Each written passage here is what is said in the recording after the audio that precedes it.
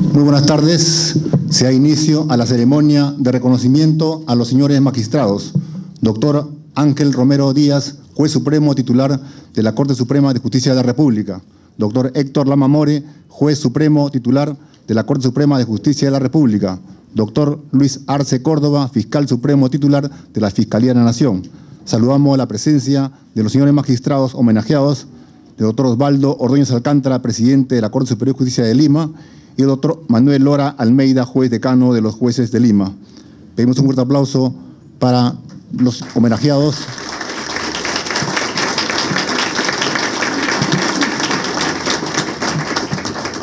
Iniciamos la ceremonia con las palabras del doctor Osvaldo Ordóñez Alcántara, presidente de la Corte Superior de Justicia de Lima. Muy buenas tardes con todas y con todos. Para mí es un placer tener esta oportunidad de reunirnos en esta nuestra casa, la Corte Superior de Justicia de Lima, para hacer un merecido reconocimiento y homenaje a tres distinguidos jueces superiores precisamente de nuestra Corte. Se ha designado a cada uno de los magistrados aquí presentes para que den unas palabras sobre cada uno de nuestros homenajeados. Pero yo no quiero desaprovechar esta ocasión para hacer también un reconocimiento y un homenaje fundamentalmente a las familias de los tres homenajeados y reconocidos. No, la familia es la, como todos acá lo sabemos perfectamente, es la base de la sociedad. Pero gracias a las familias que tenemos, nosotros podemos ostentar estos cargos y soportar lo sacrificado que es la función jurisdiccional. Y yo quiero rendir un homenaje a la familia de los tres magistrados de nuestra Corte, aquí representadas por sus dignas esposas y sus hijos y familiares. Gracias a ellos, porque ellos son los que realmente también son sacrificados y sufren a veces los embates de este, los medios de comunicación y también de los, propios, de los propios justiciables cuando no comprenden nuestras decisiones. No quería dejar de pasar esta ocasión eh, para reconocerles que gracias a ellos y por supuesto gracias al esfuerzo de cada uno de nuestros distinguidos colegas es que han podido lograr el merecido ascenso y la designación como jueces supremos y en el caso de Carlos como fiscal supremo. Tengo el honor de conocerlos a los tres. A Ángel lo recuerdo, lo conocí como juez de paz en Surco y después establecí una amistad cuando estaba, si no me equivoco, juez del décimo juzgado civil porque al costado está la doctora Idestello Iñeco, que era el 11. ¿no? Recuerdo cuando jugábamos y te decíamos chale en la cancha, ¿no? Y la hacías bien, pero te cansabas muy rápido, ¿no? También me une una amistad de muchos años con Carlos, porque tuvimos el privilegio de que nuestros hijos estuvieron juntos, como yo lo dije una vez acá, en el San Agustín, y eras nuestro ágil arquero. Todavía volabas en esos tiempos, ¿no? Y con Héctor, si bien no tuve el privilegio de conocerlos por esas épocas, desde que llegó acá el año 94, sellamos una gran amistad que cada día crece más, como con nuestros dos también homenajeados. Eh, nuestra familia, nuestra Corte Superior de Justicia, tiene el privilegio de tener los recursos humanos eh, tan importantes como son precisamente nuestros dos homenajeados. Y también acá tenemos todavía grandes talentos, extraordinarios profesionales, extraordinarios jueces, que deseamos sinceramente que también eh, en su momento, cuando corresponda, lleguen a, los estratos supremos. Por mi parte, yo no quiero cansar más, se ha designado a las personas pertinentes para que hagan alusión a cada uno de ellos, pero creo que es pertinente reconocer que no, somos, no solo somos la corte más grande, no solo somos la corte más importante, una institución y todas las instituciones valen por los recursos humanos, por las personas que tienen. Y en esta Corte, en todos los niveles superiores, especializados, de paz letrados, funcionarios, servidores, hay gente heroica que todos los días, todos los días da mucho de sí para poder brindar un buen servicio de justicia. Tenemos demasiadas limitaciones y demasiadas carencias, pero tenemos ese amor y esa pasión por servir cada día mejor y es por eso que sobrevivimos y seguimos siendo la Corte más importante del país. Muchísimas gracias. Muy buenas tardes.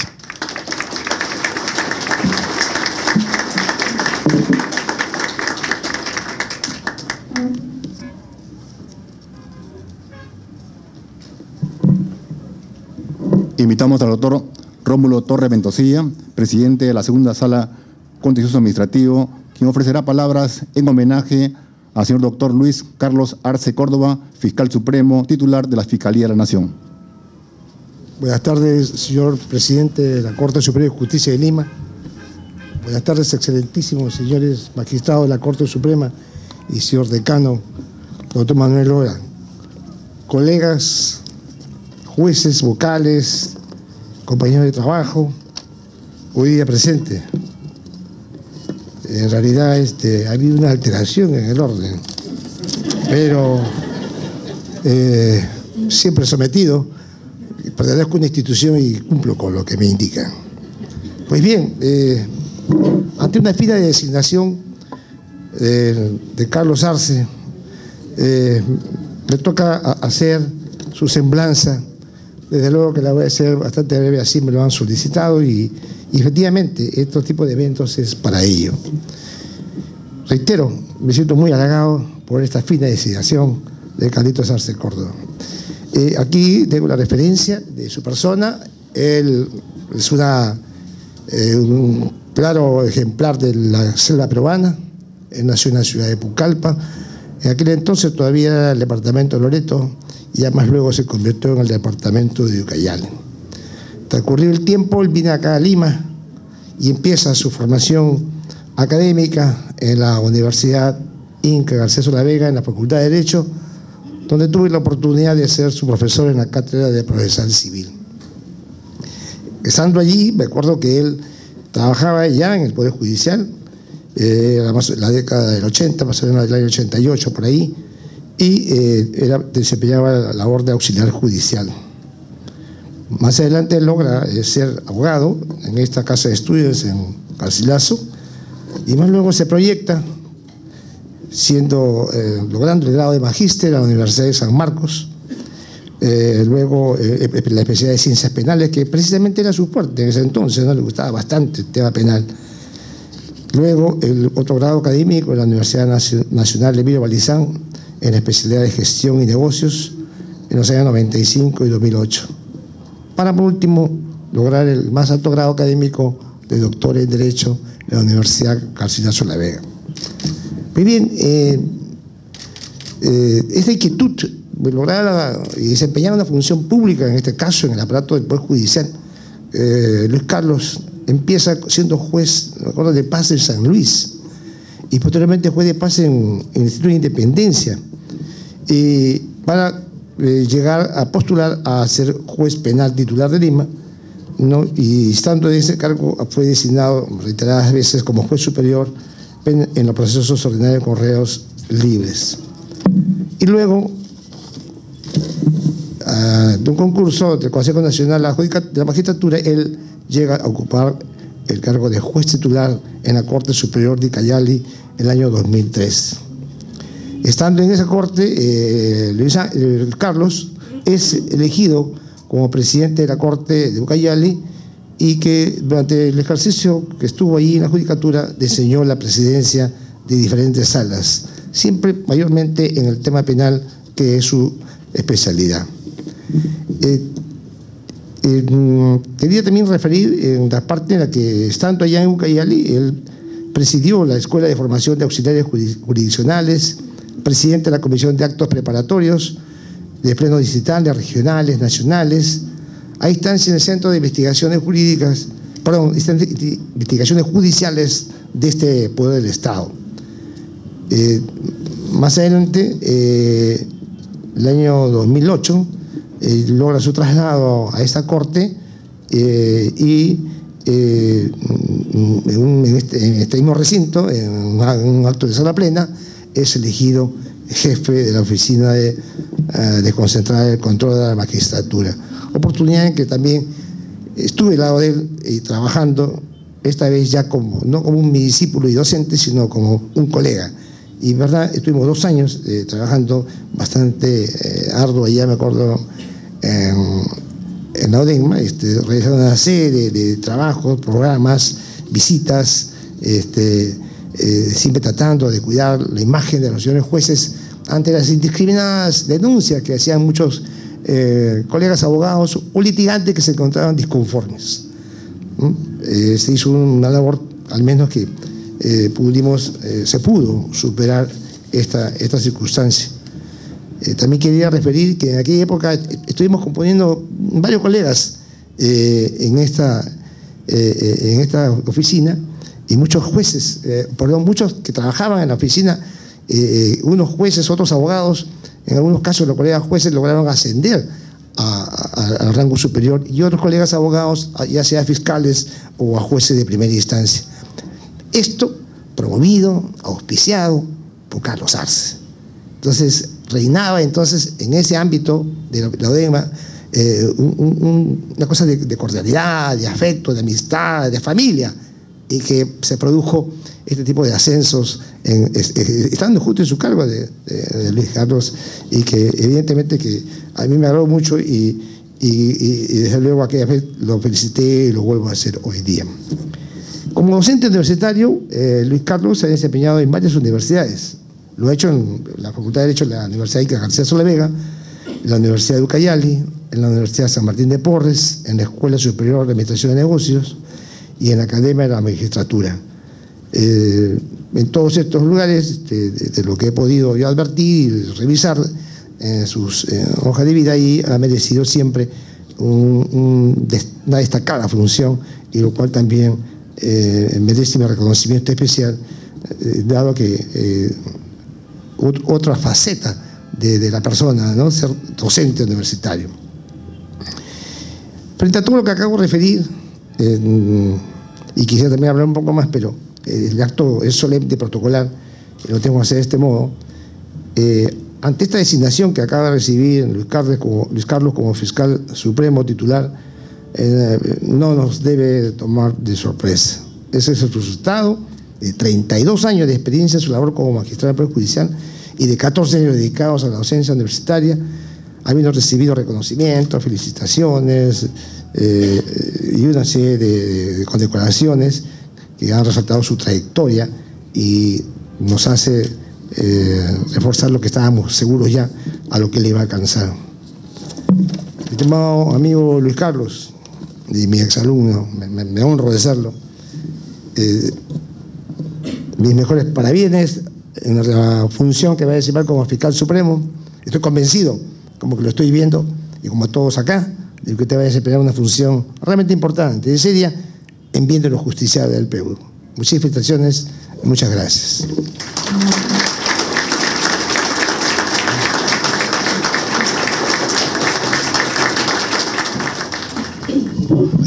Enseguida invitamos a la doctora Zoila Alicia Tábara Martínez, presidenta de la séptima sala laboral de la Corte Superior de Justicia de Lima, quien ofrecerá unas palabras en homenaje al señor doctor Ángel Romero Díaz, juez supremo titular de la Corte Suprema de Justicia de la República.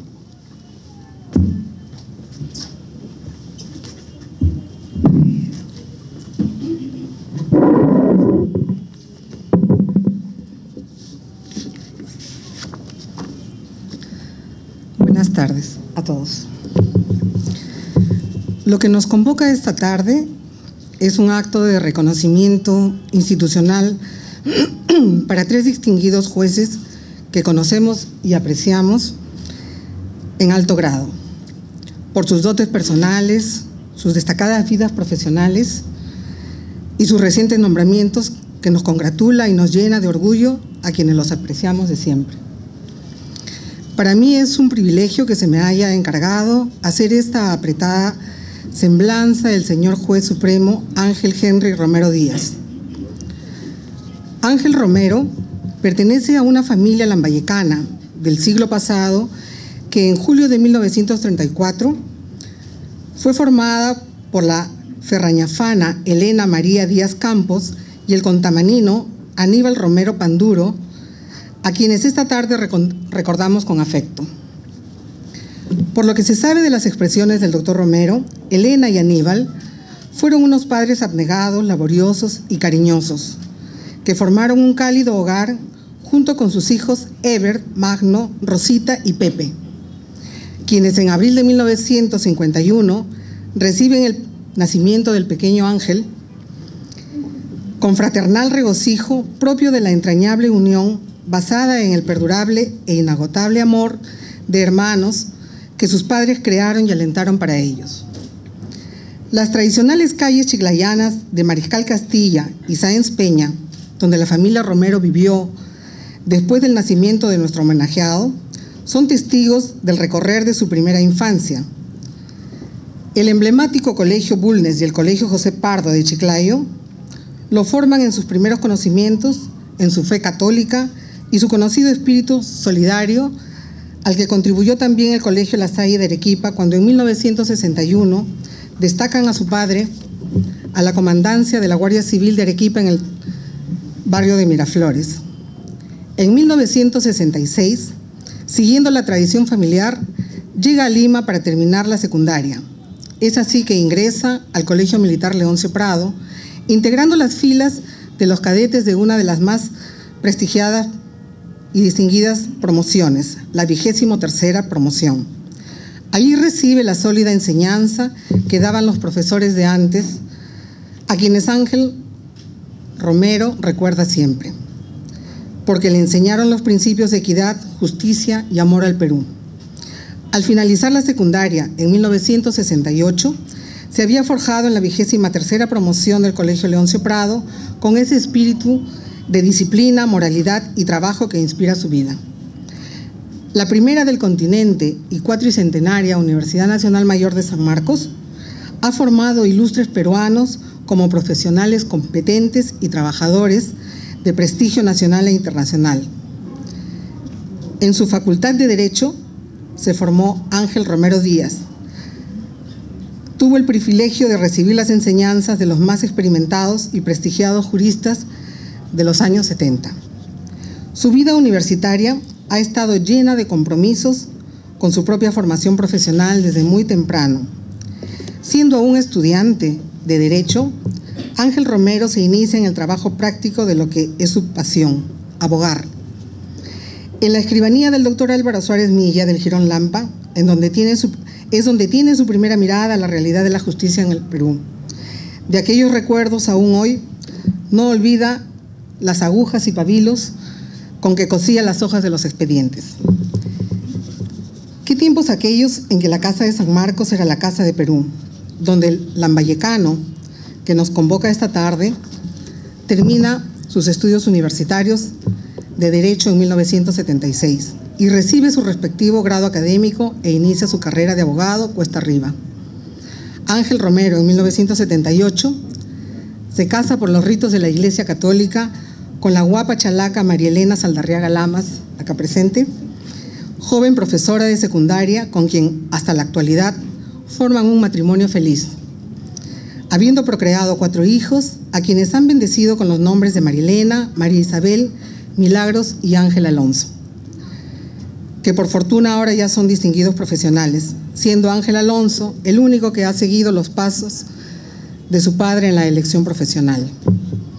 Ángel Romero, en su actividad privada y pública, tiene una extensa muestra de lo que se logra con creatividad, perseverancia, dedicación, esfuerzo y profesionalismo. Siempre dispuesto a salir en defensa de la institucionalidad del Poder Judicial a través de sus periódicos artículos en diferentes medios periodísticos. Destaca en su vida privada haber sido, en 1976, presidente de la promoción Max Arias Schreiber de la Universidad Nacional Mayor de San Marcos, miembro de la Junta Directiva del Colegio de Abogados de Lima en 1982, profesor y catedrático universitario de Teoría del Proceso desde 1985 hasta la actualidad. Vicepresidente de la Federación Latinoamericana de Magistrados en 1990, presidente de la Asociación de Magistrados del Perú en 1991. Como incansable estudioso del derecho, tiene el grado de magíster en Derecho y estudios concluidos de doctorado. Ha cursado estudios sobre Derecho Constitucional tanto en España como en Italia. Asimismo, ha realizado un importante aporte intelectual y académico en materia de arbitraje. Ángel Romero Díaz ha ejercido con esmero y vocación de servicio los cargos públicos siguientes. 1980, juez de paz de Miraflores. 1981, juez de paz de Surco. 1983, juez civil de Lima. 1989 como juez superior de Lima. En 1992 es atropellado en sus derechos y cesado como juez superior, por lo cual dignamente vuelve al ejercicio profesional de abogado en el ámbito del sector privado, donde obtiene satisfacciones personales y profesionales. En el 2004, y en virtud de largos litigios durante 12 años, logra que se le reconozca su reingreso a la carrera judicial y retoma el cargo de juez superior de Lima. Es por esta etapa que tuve la oportunidad de conformar colegiado con Ángel Romero y soy testigo de su capacidad de gestión en la dirección de la sala que nos tocó atender. Y puedo decir que no solo es un buen juez, sino que además es un juez bueno. Para el periodo 2007 y 2008 es elegido por los miembros de esta magna sala plena presidente de la Corte Superior de Lima. Como es de público conocimiento y luego de un riguroso proceso de selección donde participaron distinguidos y excelentes magistrados, el Consejo Nacional de la Magistratura lo nombra juez supremo de la República. Y como lo mencionamos al inicio de esta semblanza, este nombramiento nos llena de satisfacción, no solo porque ha pertenecido a nuestra querida Corte Superior, sino porque ha sabido coronar exitosamente su carrera en el Poder Judicial. Y es el reconocimiento de alguien que lo logró con empeño. Pero este nombramiento acrecienta sus responsabilidades y lo obliga a dejarnos y brindar ejemplo para honra de los que se fueron y acicate de los que vendrán.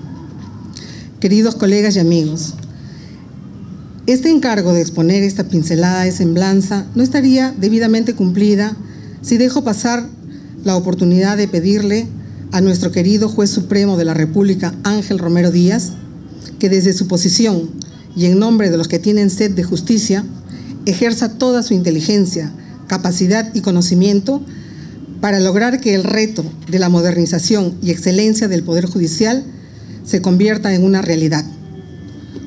Cuenta usted con nuestro humilde aporte. Muchas gracias.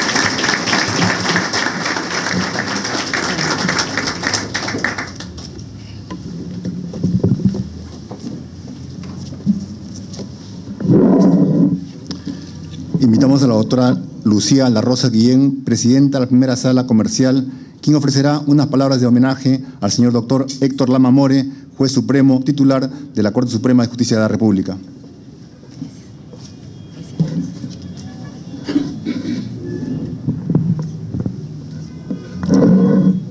Señor doctor Osvaldo Ordóñez Alcántara, presidente de la Corte Superior de Lima.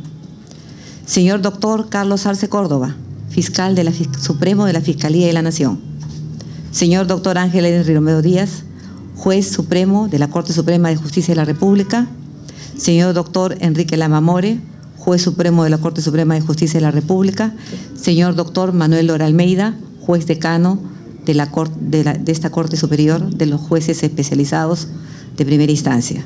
Señores jueces de todas las instancias de esta ilustre corte, señoras y señoras. Gracias.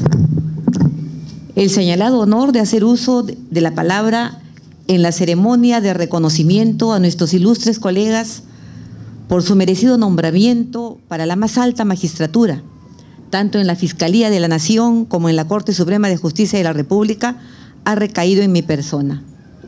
Me toca homenajear al señor doctor Enrique Lama More, a quien expreso mi agradecimiento por la generosidad en designarme para tan honroso cargo. En la convocatoria se nos ha citado para un reconocimiento.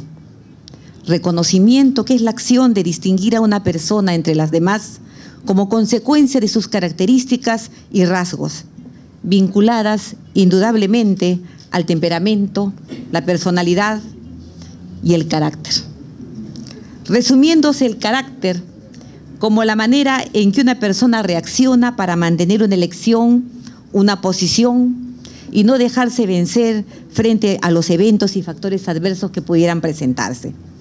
Indudablemente que el carácter, si bien es cierto, nos viene impreso, se forma y se moldea gracias a la formación que recibimos de nuestros padres. Somos los que vimos en el hogar y a la educación que recibimos.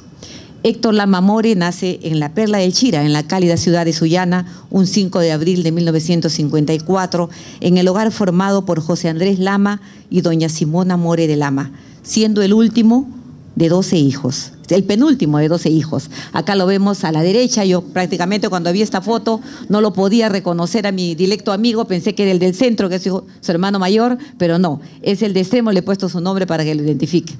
Es el penúltimo de los, de los hermanos, la Mamore, ¿no? Se educa en el Colegio Santa Rosa de los Hermanos Maristas de la ciudad de Sullana, que es donde ah, recibe la primera comunión a la edad de 11 años. Y acá vemos una foto tanto anterior como actualizada de los hermanos Lamamore y a su padre muy anciano, como estábamos viendo en la siguiente foto, pero ahí están los dos hermanos de una linda familia piurana, al mejor estilo norteño que podamos conocer, unida y feliz. Siendo muy joven, contrae matrimonio con Elizabeth Mavila de Lama, también abogada, acá vemos la ceremonia civil y vemos un delgadísimo Héctor Lama More con una también esbeltísima Elizabeth, ¿no?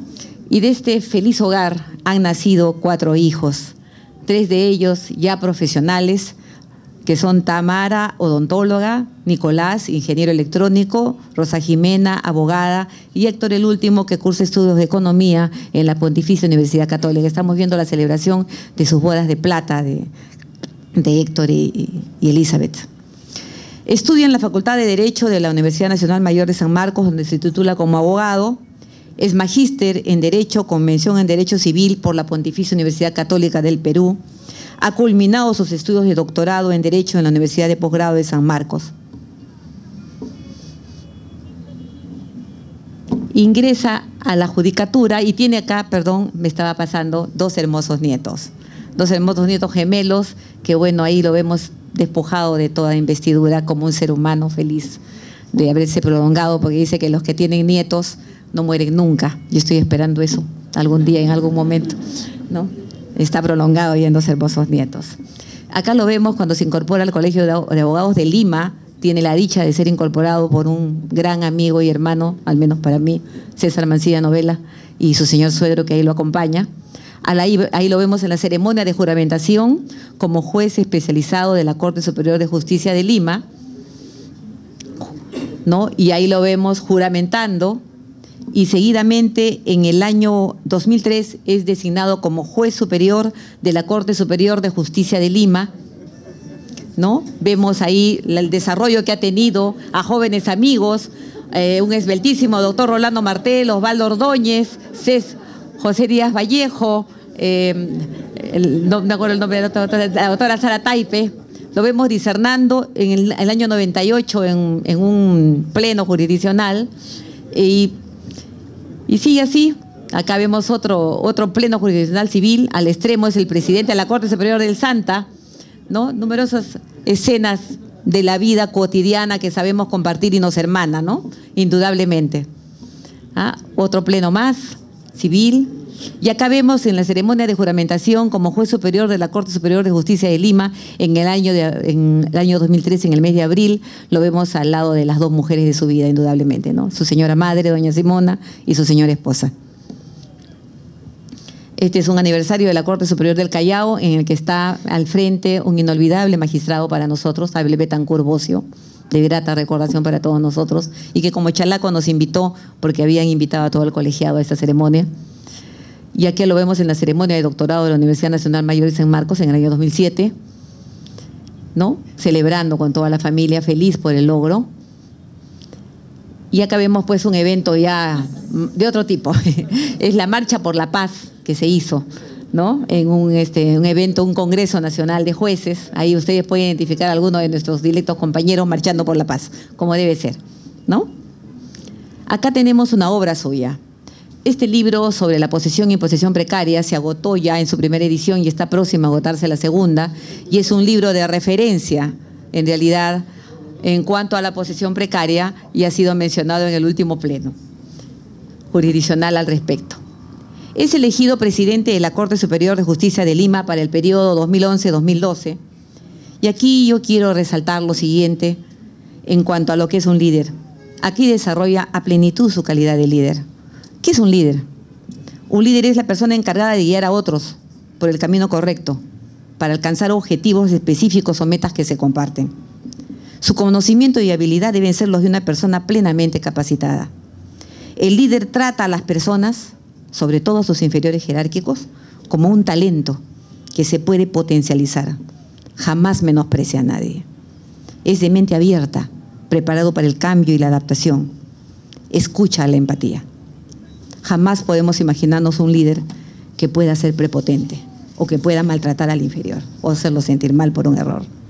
Unifica por el acuerdo, inspira respeto y confianza y acepta sus errores. Durante su gestión se logró lo siguiente brevemente. Aspiró a la transparencia en la Administración de Justicia, instalando el registro y control biométrico, que permitía y facilitaba a aquellas personas que habían sido eh, juzgadas y tenían que ir a controlarse el acceder a esos libros pesados a los que tenían que hacer hasta colas. Instaló con ayuda de RENIE un control biométrico y con eso la persona ya estaba controlada en cuanto a, en cuanto a su concurrencia a firmar cuando tenía orden de orden de, libertad de libertad vigilada o yo no sé precisamente bien en penal de, de ese tipo. Colocó una pantalla informativa en los juzgados penales de turno permanente. ¿Para qué era esto? Se jugaba mucho con nuestro nombre, con el nombre de señores jueces honorables. Malos abogados pedían dinero a los familiares diciéndoles que iban a negociar, que no se les detuviera, que se les diera una comparecencia cuando muchas veces el juez la mayoría de veces ya había calificado. Al colocar esta pantalla informativa, los familiares que esperaban ansiosos el resultado de, su, de, lo que iba a pasar con su, con su familiar, ya sabían y conocían la decisión del juez. Entonces se acabó esa corruptela para muchos. ¿No? Esta es una, otra pantalla más del turno permanente. Publicación de sentencias en la página web vía consulta em, virtual esto fue el inicio de la transparencia y de permitir que se coloquen, se puedan conocer en tiempo real nuestras resoluciones. ¿no? Y se ayudó a la transparencia. Fijación del radio urbano en la, especialidad comercial y se trasladó la sala de remates a nuestra sede comercial porque acá se suscitaban muchos eventos de corrupción, inclusive de coacción a las personas que concurrían al remate. Y se trató de, se, se les ha llevado como efectivamente este ahora está funcionando en nuestra sede comercial se inauguraron los módulos de atención de SUNAR en diferentes sedes de la Corte Superior de Justicia de Lima para dar una mejor atención al justiciable. Eh, acá tenemos la inauguración de diferentes juzgados. Se inauguraron diferentes sedes, conforme estamos viendo, ¿no? en, en diferentes lugares, Matucana, Huaycán, esta es la inauguración de la sede que tiene por nombre César Mancilla Novela y en que por supuesto la, madrina de honor fue nuestra querida Patricia Beltrán junto con la esposa de, del doctor César Mancilla, Berta Sealder de Mancilla. Están todos los señores magistrados. Inauguración de la mini central en Chosica. En fin, fueron muchos los eventos, implementación de la nueva ley procesal de trabajo, implementación de la ley procesal laboral, del nuevo código, con la ayuda de valiosos magistrados como Susana Castañeda Otsú y entre, entre otros, que quizás escapan a mi memoria y todos concurrimos a, felicitarnos de ese nuevo inicio, una nueva etapa. Hubo trabajo interinstitucional, indudablemente, con el Comité de Seguridad Ciudadana en la Municipalidad Metropolitana de Lima en el año 2011, convenio institucional con SUNARP y visitas de delegaciones extranjeras, que sembraron una semilla ¿Por qué? Porque permitieron que, por ejemplo, ahora en la especialidad comercial estemos eh, ya inaugurando y esté en plena ejecución un plan piloto de nuevo módulo de, juzgado, que ojalá eh, preste los resultados que esperamos. En la lucha de los jueces por sus remuneraciones, que hasta ahora continúa, se tuvo especial gravitación.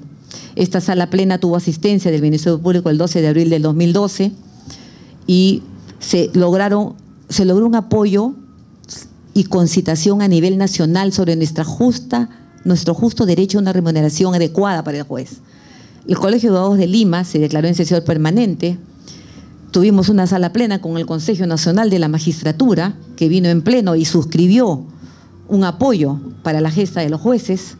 Se hacían teleconferencias a nivel nacional. Estábamos acá todos en lucha y también luchando con, con nuestros hermanos del interior.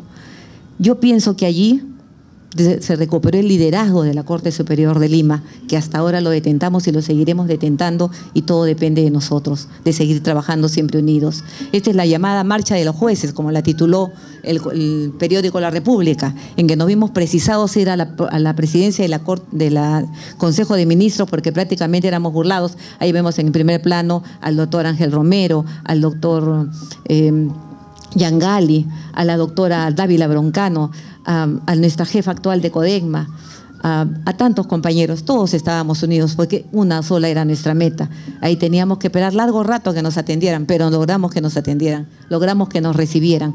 Y él entregó ese memorial en nombre de todos los jueces y merecimos la atención de la prensa, que era lo que se necesitaba para que, se nos, para que por favor se nos atendiera. En esta sala plena del 24 de octubre del 2012, como vemos, fue una sala plena ampliada con todos los jueces de todas las instancias, ¿no? se hizo una vigilia de los jueces, ¿no? en que por supuesto también tuvo importante gravitación y tengo que reconocer acá al doctor Carlos Arce que formaba parte de la Comisión de Defensa Institucional, junto con tantas compañeras acá presentes como, como Patti Beltrán, como Liliana Dávila, ¿no? como Julio Rodríguez, ¿ah? entre, entre otros. Hubo un contacto fluido, armonioso con el personal. Como le digo, el líder trata bien a su personal y el personal responde, el personal te quiere, el personal te secunda. Y eso se logró. Visitas realizadas a juzgados de manera paulatina y periódica para atender sus necesidades. También al penal de Lurigancho hubo un contacto fluido con los medios de comunicación que por fin ya no se ocupaban de nosotros para escándalos. Ya no se preocupaban de nosotros para decir pasó tal cosa, pasó tal otra, tal juez tal, que era por lo general para lo que se concitaba, porque la prensa siempre noticia lo malo, no noticia lo bueno. Se logró que se prestara atención a todo lo bueno que hacíamos, que siempre ha sido y mucho. Celebramos el Día del Juez con contacto con la población, en este caso en el distrito de Surco, muchos jueces nos acompañaron a prestar atención junto con algunos abogados del Ministerio de Justicia. Este es el Día del Juez del año 2011, como verán, se hizo un homenaje a la doctora Rosa del Portal, la primera juez mujer de la Corte Superior de Lima. Ella creo que nunca olvidará esto porque ya pensaría que nadie se acordaba de ella, pero ya en su ancianidad recibió este homenaje. Para lograr una atención por parte del Congreso de la República, se hizo un ciclo de conferencias con la participación de los, congresistas Bruce y la doctora, eh, me acuerdo su nombre, disculpen ustedes, Marisol Perestello, que habló sobre feminicidio, ¿no? Y así hubo una campaña de orientación en barrios altos, hubo un trabajo continuo, eficaz, y eficiente, de la mano de todos los jueces. Aquí he querido hacer un alto, si me permiten, por favor. Una persona que trabajó mucho por nosotros, que hoy ya no está. Se trata de Janet Solís. Casi no se le ve acá a la izquierda, pero pienso que ella merece nuestro recuerdo cariñoso, en donde está, yo sé que está en el cielo, porque cómo trabajó, siempre trabajó con el presidente que le tocó, trabajó con eficiencia, trabajó con cariño. ¿No? Día del Juez del año 2012, en que se rindió homenaje a César Mancilla Novela con su esposa, que emocionada lo recibió porque ustedes saben que César fue injustamente defenestrado en una ratificación absolutamente injusta que se calificó de descerebración del Poder Judicial y no pudimos rendirle homenaje en vida, pero siquiera su esposa y su hijo escucharon lo que tenía que decir la Corte para él, ¿no? Ahí está la asistencia masiva de todos ustedes que nos acompañaron, pese a ser un día domingo, recuerdo, que teníamos un poco de miedo, pero todos los jueces cumplidores de su deber vinieron a visitarnos. Fluida comunicación con jueces de diferentes instancias, 187 aniversario de la Corte Superior de Lima, como verán, siempre unidos, siempre juntos, y ojalá que siempre sigamos así, como debe de ser con el presidente o presidenta que nos toque en el futuro. ¿no? Y así, justicia en tu comunidad es lo último con lo que voy a cerrar, porque fue un gran logro. Fue un gran logro de la Corte Superior de Lima. Fue un logro de tal naturaleza, repite en todas las Cortes Superiores del Perú. Fue un logro que nos acercó a la comunidad y que nos hizo ver con otra cara, ¿no? Y que llegó a tal punto el trabajo de los jueces que integran este grupo que conseguimos un premio a nivel mundial ¿no? Que es el eh, que fue otorgado por una entidad holandesa, ¿no? Ahí está con los niños, futuro del Perú. Gracias a la votación masiva. Se logró la votación masiva de la población vía internet y el Perú ocupó el primer lugar como gestión innovadora en el, en servicio del sector justicia. Eso fue en el año 2012 y creo que ahí está una gran gestora, la doctora Carmen Julia Cabello Matamala, que fue la que dirigió este equipo humano con acierto, con eficiencia, con eficacia. Y logramos esto. Se logró esto para nuestra Corte y se logró esto para el Poder Judicial. Indudablemente que eso nos levantó como tiene que hacerse siempre y nos legitimó ante la, ante, ante la colectividad. ¿No? Esto es en la Corte Suprema y están celebrando todos los jueces. Como les repito, este logro tuvo eco nacional y ahora Justicia en tu comunidad es replicado en todas las cortes del país y es un buque insignia, por digamos así, del Poder Judicial. Esta es la apertura del año 2013 en la entrega, transferencia de cargo a quien lo sucedió, que fue el doctor Iván Sequeiros. Y acá lo tenemos juramentando ya como juez supremo el 18 de febrero de este año, en que ha dejado esta Corte Superior, que lo albergó con cariño durante tantos años, para ir a otros lares. Yo solamente quiero reservar unas palabras finales y decirle al señor Héctor Lama More, porque esta es una ceremonia protocolar en que tengo que evitar el tú, pese a la amistad que nos pueda hermanar, y tratarlo conforme a su alta investidura. Tiene usted un gran poder, doctor Lama. Lo que le pido a Dios es que usted nunca pierda autoridad porque con el poder yo puedo forzar a alguien para que acate mi voluntad, aunque no quiera hacerlo. En cambio, la autoridad es la capacidad, el arte de conseguir que se haga voluntariamente las acciones necesarias para ejecutar las iniciativas que yo pueda tener. La autoridad es fuerza moral que permite generar liderazgo. El liderazgo solo se puede ejercer con autoridad. Yo reconozco en usted esa autoridad que ha sabido demostrar a lo largo de su trayectoria. Lo saludo en nombre de esta Corte Superior de Justicia, de todos los jueces de esta ilustre Corte Superior de Lima. Le deseo bendiciones en el cargo a desempeñar y le manifiesto que tenemos mucha esperanza en su desempeño, en que va a honrar, como siempre lo ha hecho, la calidad de juez. Muchas gracias.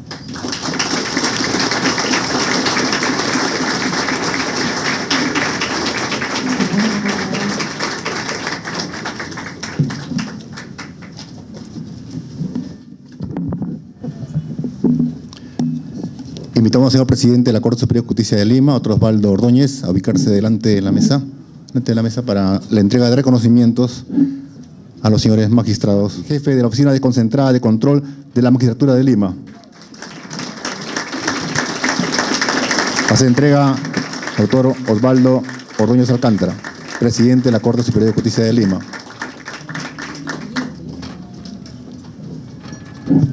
Entrega reconocimiento al señor doctor Ángel Romero Díaz, por su nombramiento como juez supremo titular de la Corte Suprema de Justicia de la República, por su trayectoria como juez superior en la Corte Superior de Justicia de Lima y como presidente de la Corte Superior de Justicia de Lima.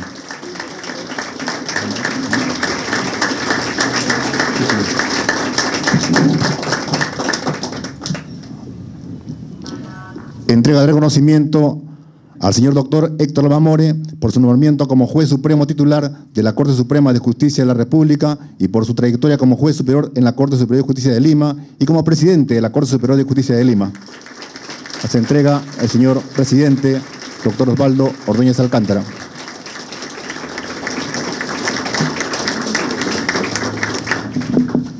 Señor presidente, a los señores miembros de la mesa de honor, a nuestro decano de jueces, de primera instancia.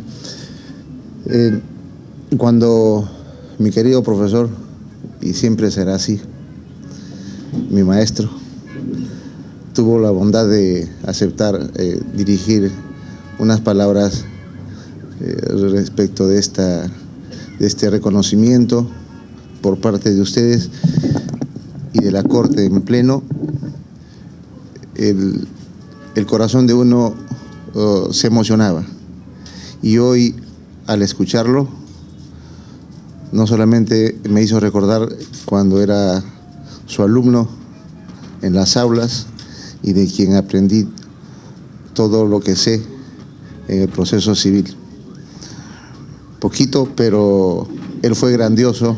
Poquito le digo porque no es mi especialidad, pero intenté siempre destacar en sus clases y por ello a él yo les pido de corazón un fuerte aplauso para don Rómulo Torres.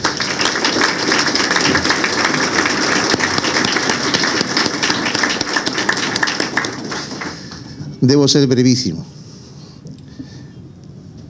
Públicamente agradezco a Dios como lo hago siempre porque hay tres hechos fundamentales en mi existencia. Dios, mi familia sanguínea y mi familia judicial. Sin ustedes, sin Él, sin mis padres que están en el cielo, sin mis hermanos, mis hijos, mis sobrinos, y sin hermanos como ustedes, no hubiese llegado a donde estamos hoy. Segundo, mi compromiso por siempre de seguir en la brega respecto del respeto y el otorgamiento de los derechos que a los magistrados judiciales o fiscales del Perú y de Latinoamérica corresponden. Y en tercer orden, decirles de que Luis Carlos siempre, donde esté, deseo con el más ferviente corazón, se me siga considerando un hermano judicial, un hermano de la familia, y muy por el contrario, tengan la plena seguridad que allí donde está mi nueva familia, donde he sido gratamente recibido y reconozco el tratamiento que se me ha dado, las consideraciones y el trato, saben que tienen ustedes un celoso guardián frente a cualquier embate frente a ustedes. No lo duden. El despacho de la Fiscalía Suprema Penal que me honro en dirigir está, está y estará siempre a la orden, señor presidente, de usted, de ustedes, colegas magistrados supremos, y de todos y cada uno de los hermanos judiciales. A Dios y a ustedes, muchísimas gracias. Enseguida tenemos palabras de agradecimiento del doctor Ángel Romero Díaz. Buenas tardes, señor presidente de la Corte Superior de Lima, señor fiscal supremo, doctor Luis Carlos Arce, señor doctor fiscal, perdón, juez supremo Héctor Lama, doctor Manuel Lora, distinguidos colegas, colegas, amigos todos. Hay un poema de Violeta Parra, una excelente poetisa chilena, que Mercedes Sosa hizo canción, gracias a la vida que me ha dado tanto. Y este poema hablaba de los sentidos que tiene el ser humano, pero dirigidos a establecer que el día a día que uno tiene, lo tiene para sentirse como ser humano realizado y por eso todos los días dice este poema. Violeta Parra decía, gracias a la vida que me ha dado tanto, gracias a estos mis ojos, creo que así lo dice, que te veo, amor mío. Así dice Violeta Parra. Y parafraseando este poema, quiero decirles gracias a ustedes que me han dado tanto. ¿Por qué? Porque en esta Corte Superior de Lima me inicié. Y como bien lo dijo nuestra distinguida colega Alicia Tábara, me inicié en una secretaría de juzgado de antaño de un colega porque después juramentó como juez y hoy es mi delecto compadre, padrino de uno de mis hijos. la Secretaría de Juzgado del doctor Álvaro Eduardo Suárez, Suárez Mía, donde yo, estudiante de Derecho, con ese entusiasmo que tienen los jóvenes, pensé que yo iba a sentenciar. No, me dieron hilo, pabilo y goma para pegar correo. Testigo de ello es José Díaz, que también estuvo en esa Secretaría de Juzgado. ¿no? Y también caminar de Lampa a Palacio de Justicia cargando los expedientes para atender las diligencias que se realizaban en los diferentes juzgados, porque en esa época las oficinas quedaban fuera del Poder Judicial o de las sedes del Poder Judicial, no como ahora, que es de manera interna. Pero esa experiencia nos da el sentido de nuestra vida, el sentido de nuestra vocación. Aspiraba a sentenciar porque yo veía a los que sentenciaban a las escribanías, ¿cómo sabían? Eran unos eruditos y algunos ni siquiera eran abogados, eran autodidactas. Y mi aspiración era, como quisiera sentenciar, Dios mío, para saber más. Hasta que ya sentenciar, para mí fue un logro. Sentencié, creo que una rectificación de partida, si mal no recuerdo. Pero algo es algo, algo es algo. Se empezó a hacer mayores sentencias y luego Lucía el día de hoy haciendo antesala nos hizo recordar que estudiamos juntos un curso de posgrado de capacitación judicial que fue generado por la Universidad Nacional Mayor de San Marcos y cuyo director era el distinguido jurista Mario Alzamora Valdés, donde todos los que teníamos vocación de ser jueces recibimos clases en, esta, en este posgrado en San Marcos. Teníamos la suerte de que el 99% de los docentes eran jueces superiores o vocales superiores de aquel entonces. Esto facilitó que estuviésemos designados por la Corte Superior de aquel entonces como jueces de paz no letrados. Me tocó el juzgado de paz no letrado de Miraflores y posteriormente el de Surco. Qué satisfacción para uno estar en los inicios, en las primeras gradas de la escalera del Poder Judicial. Y yo quería ser juez, porque veía a los jueces unimos, presentes para dar y resolver los conflictos de intereses. Y es así que postulo y se me designa juez civil, específicamente del décimo juzgado civil. Y ahí empezó, hasta que en el año 89, en otro concurso, ascendimos a vocal superior. Y luego ahora, juez supremo, la cúspide, ¿no? La cúspide que estoy totalmente seguro que cada uno de ustedes ha de llegar. Porque como dije al comienzo, estoy seguro de que cada uno de ustedes dará gracias a la vida por trabajar en esta Corte Superior, la más importante de Lima, por más que algunas autoridades a nivel de la Corte Suprema han querido despedazar, convirtiéndola en varias sedes. Mi identificación plena con esta Corte Superior de Lima y evidentemente el compromiso como bien lo ha señalado Alicia al final de su disertación, de poder trabajar por el Poder Judicial. Y obviamente trabajar por todos nosotros, porque como bien lo dijo Luis Carlos, somos una familia.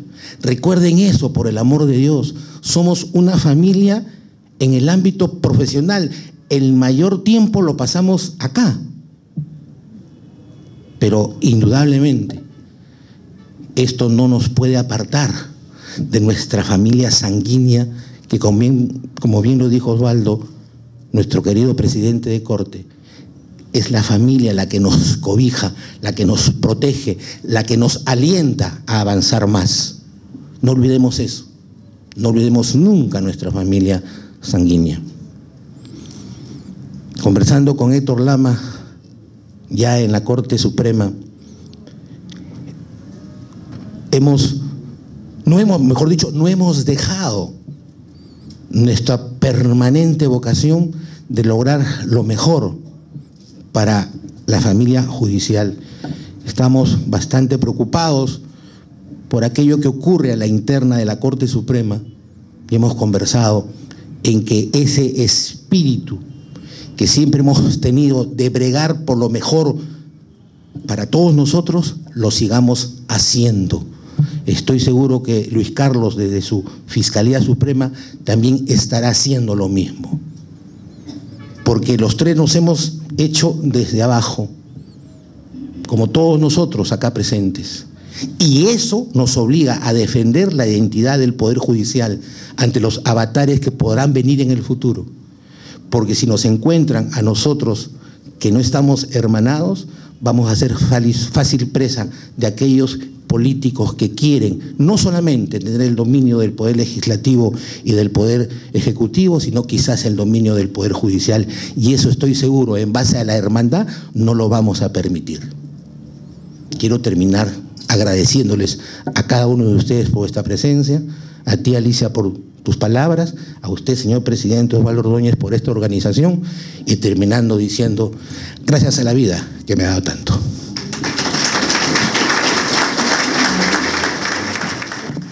Continuación tenemos palabras del señor doctor Héctor Lama More. Buenas tardes, eh, querido Osvaldo, Ángel, Carlos, Manuel, permítame esa deferencia rompiendo el protocolo. Es en realidad una voluntaria concurrencia y eso este, nos enorgullece a los tres colegas que estamos acá al frente, porque renueva nuestro espíritu de identificación con lo que aquí se ha llamado correctamente la familia judicial.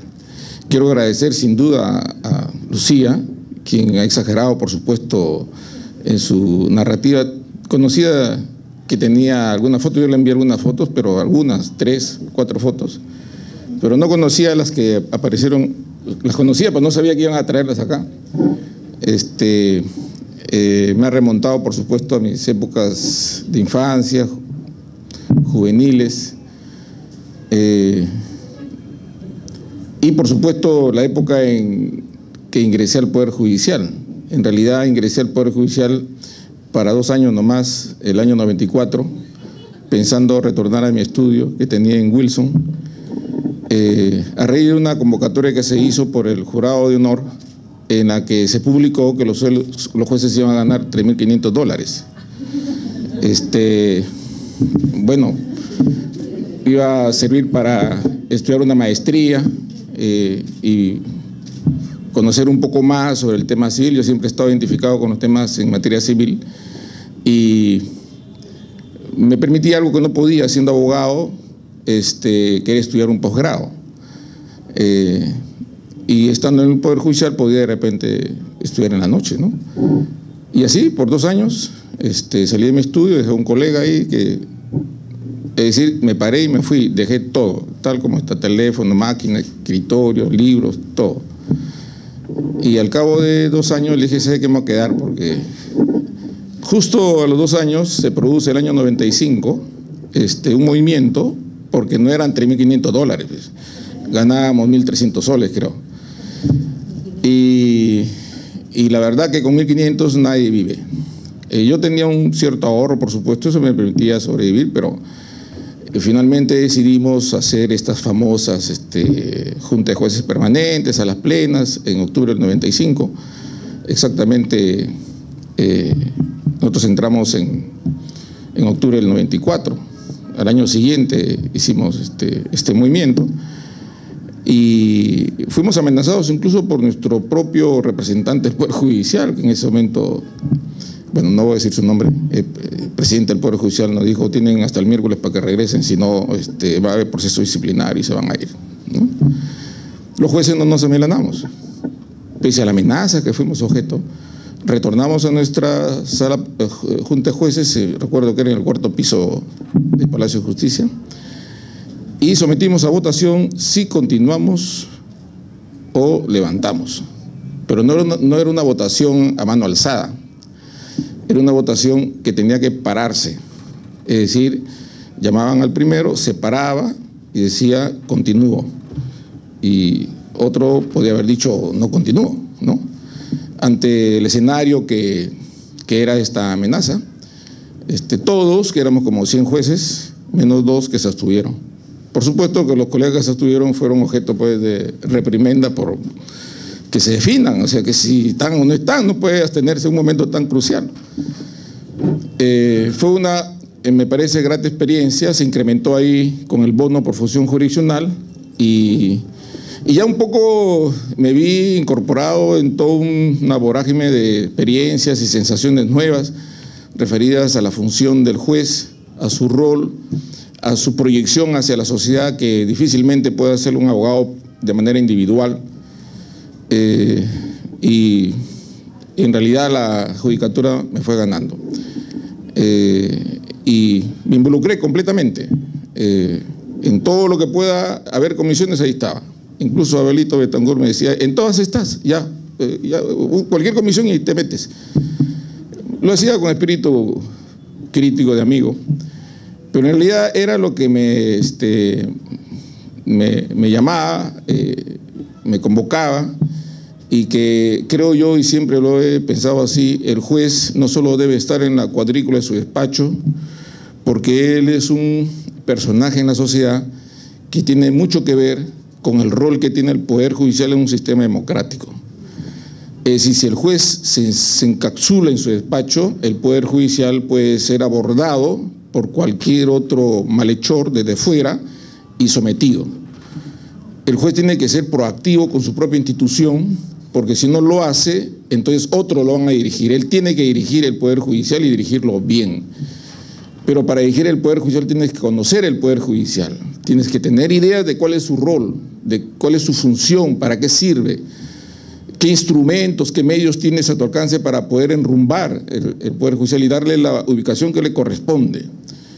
Eh, es, esas ideas, digamos que por supuesto las consolidé siendo juez, que ya las tenía, por supuesto, desde afuera, pero de manera crítica hacia el, hacia el Poder Judicial. ¿no? Era los abogados que siempre renegaba este, con la situación del Poder Judicial.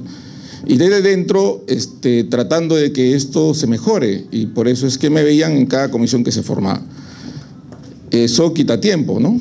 Eh, pero igual, digamos que este, la labor del despacho y la labor de las comisiones, digamos, es algo que me parece los jueces debemos de, hacer. Eh, tuve la oportunidad pues de, pasar al siguiente nivel eh, en el año 2003, junto con un buen grupo de magistrados que veníamos del, del juzgado y otros que se incorporaron en ese momento. Igual hemos también este, batallado en las áreas en las que se me ha tocado eh, trabajar. En ese periodo eh, pusimos mucho esfuerzo en una especialidad que creemos puede replicarse para todas las especialidades de la Corte, que es el área comercial, que ha tenido sus frutos, ha tenido su impacto en el sistema eh, de competitividad. hace poco estaba en una reunión con el Consejo Nacional de Competitividad y han resaltado los avances que tiene esta área y la han colocado eh, en una ubicación importante en el rubro del doing business sobre cumplimiento de contratos, gracias a los mecanismos informáticos creados, como son eh, el remate electrónico que está próximo a iniciarse, eh, el embargo electrónico en el sistema financiero, la notificación electrónica se ha masificado en el área comercial, ha puesto en ese rubro al Poder Judicial, bueno, al Perú, digamos, del puesto 100 al puesto 68, según nos han informado. Entonces, este es un triunfo, el logro que creo que no tiene por qué ser solo comercial.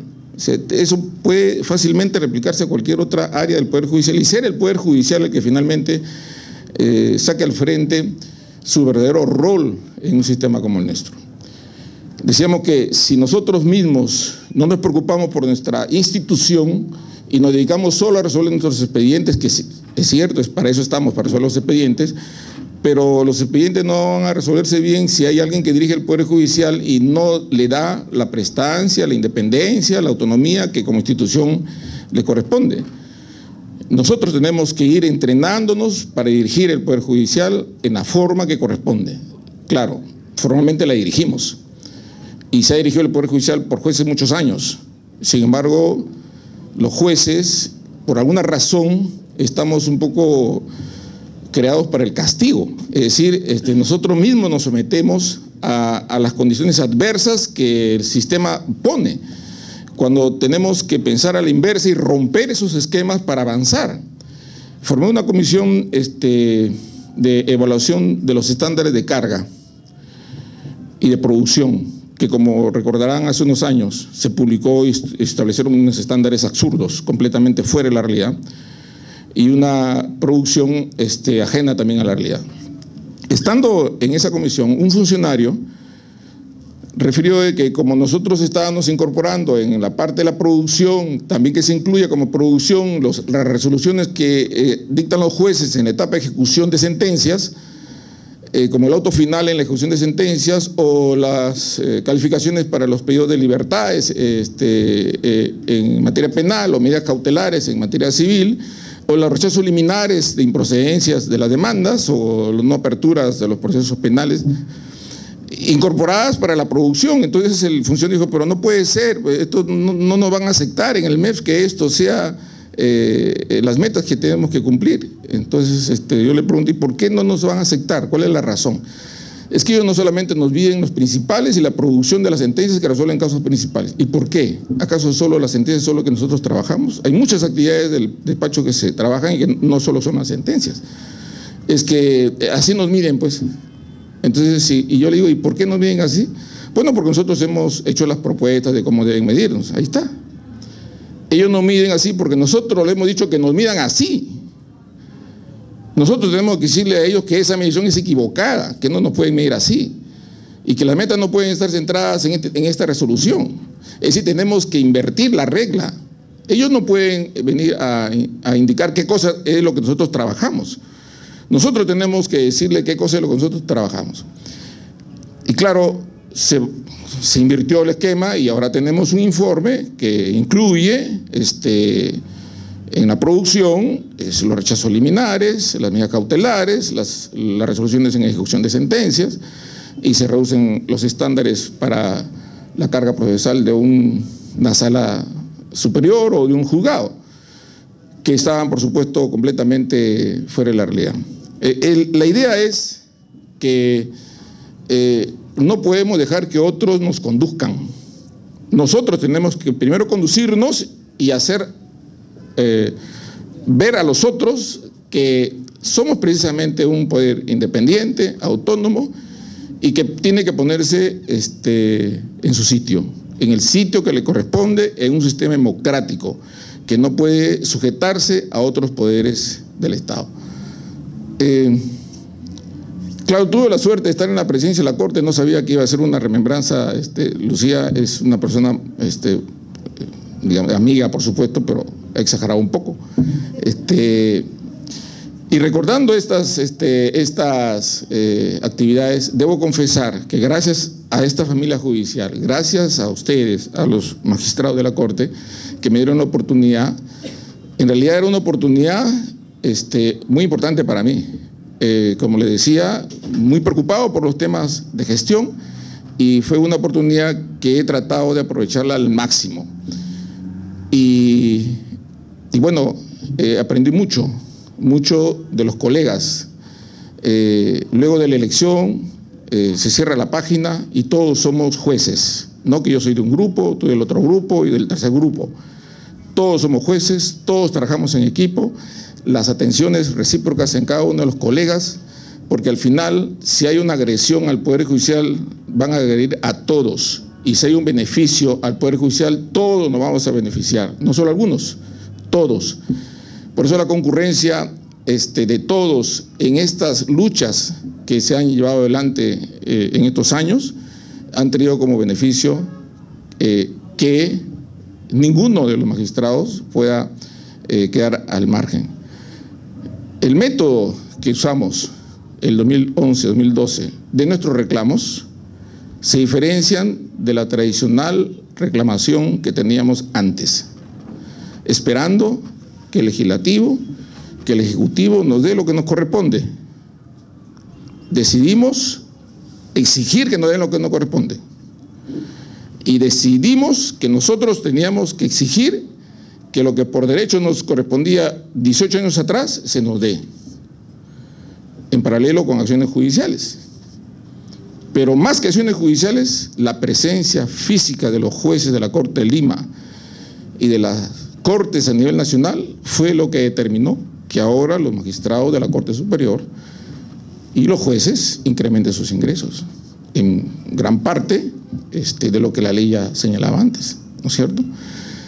Y eso es una cosa que llena satisfacción a todos los jueces, porque no hemos ido a mendigar, no hemos ido a pedir un favor. a un legislador no le hemos ido a decir, este, ayúdame que yo te voy a ayudar. Tú sacas la ley para nosotros y yo, cuando tengas un casito acá, yo te voy a ayudar. Eso no pasó. Si es lo que nos corresponde, eso tiene que dar. Y por supuesto, lo conseguimos. La aspiración a este cargo que actualmente ostentamos con Ángel y con, con Carlos, sin duda no es una aspiración económica. Se habrán dado cuenta que económicamente no nos ha ido muy bien. Este, esa es una de nuestras preocupaciones con Ángel. Este, bueno, nuestra lucha sirvió hasta la Corte Superior. Recordarán, la Corte Suprema no tenía nada que ver en esta lucha. Y es que la idea era que los superiores especializados de juez de paz se homologan con el Supremo. Ahora resulta que el Supremo tiene que homologarse con el juez superior, porque que la ventaja pues que eh, se tiene eh, a nivel de juez superior es que hay un paquete, como ustedes saben, de ingresos que no están grabados, ¿no? Y en el caso de la Suprema está el 100% está grabado. Pero eso no ha sido nuestra aspiración, eso no ha sido nuestra preocupación. Y creo que muchos jueces aspiran a ascender, no porque van a dar más o menos, o van a tener alguna eh, prerrogativa o no, sino porque ubica en un lugar en la que se puede hacer más cosas. Yo lo entiendo así.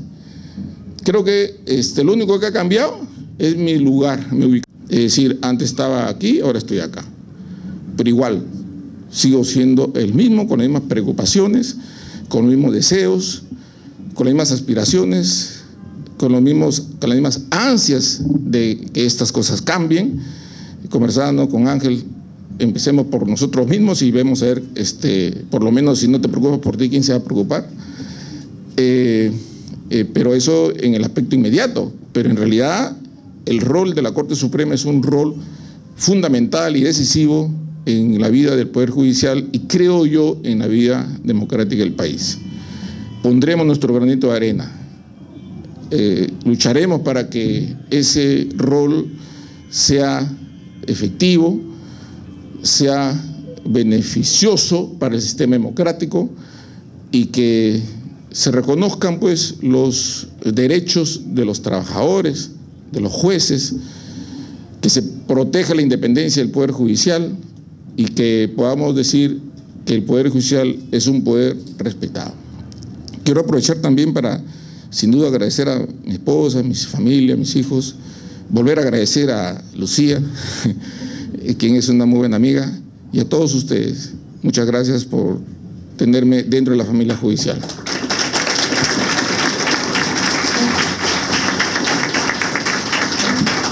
Agradecemos la palabra al doctor Héctor Lavamore, juez supremo titular. Agradecemos la presencia de los señores magistrados invitados y tributemos con un fuerte aplauso a los tres magistrados supremos titulares, doctor Luis Carlos Arce Córdoba, Ángel Romero Díaz, señor doctor Héctor Lamamore. Muchas gracias. La ceremonia ha concluido. Invitamos al presidente y a los manejados adelante para toma de fotos.